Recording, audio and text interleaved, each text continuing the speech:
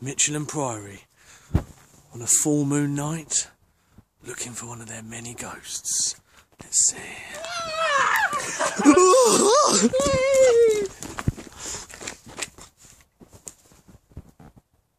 I think he's asleep.